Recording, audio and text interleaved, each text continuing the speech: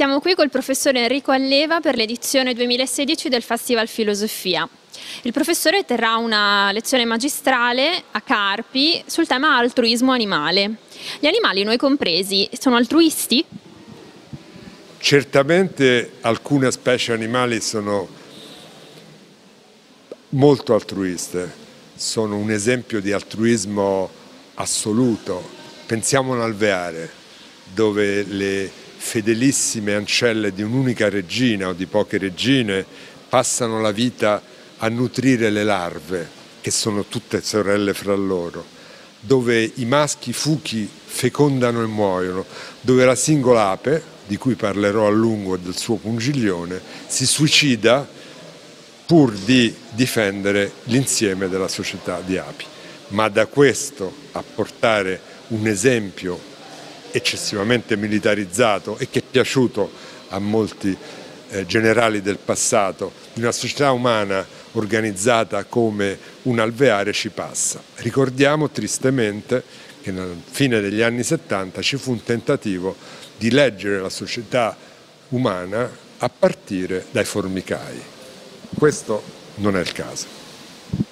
Spesso pensiamo alla teoria evoluzionistica come a una lotta per la vita, a una massimizzazione egoistica delle risorse dell'individuo a scapito degli altri. In questo senso l'altruismo è un po' un paradosso dal punto di vista evoluzionistico? Quando chi mi ascolta passeggia per strada e vede i colombi di città, si rende da solo conto che il fatto che tanti animali mangino insieme fa in modo che se qualcuno si avvicina qualcuno se ne accorge e il beneficio, se si avvicina un gatto, è per tutto il gruppo.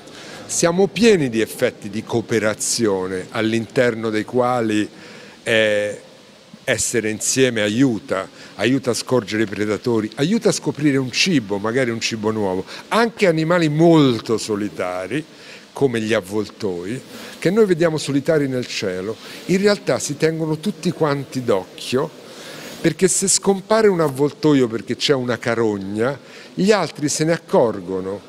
E questa rete fa sì che dove non c'è l'avvoltoio eh, sulla sinistra, l'avvoltoio va lì e trova anche lui la carogna, l'avvoltoio ancora più sulla sinistra e quindi un animale così solitario nel giro di poche ore, se non decine di minuti, diventa un grande gruppo che spartisce questa risorsa magari dell'elefante morto o ai nostri climi di un eh, bue o di un eh, pecora e quindi anche tutti i casi in cui gli animali li vediamo da soli, anche nei casi degli animali predatori come i falchi, eh, c'è un momento di solidarietà tutti insieme. Poi gli animali, gli uccelli addirittura si tramutano da esseri fortemente territoriali che scacciano dal proprio territorio, dal proprio, vicino al proprio vinto gli altri uccelli, in grandi gruppi che fanno migrazioni tutti insieme, perché quando si fanno lunghi e perigliosi viaggi, essere in gruppo è un grandissimo vantaggio. Dunque, solitudine, qualche volta, agonismo a tratti, cooperazione, molto spesso. Grazie al professor Alleva per l'edizione 2016 del Festival Filosofia.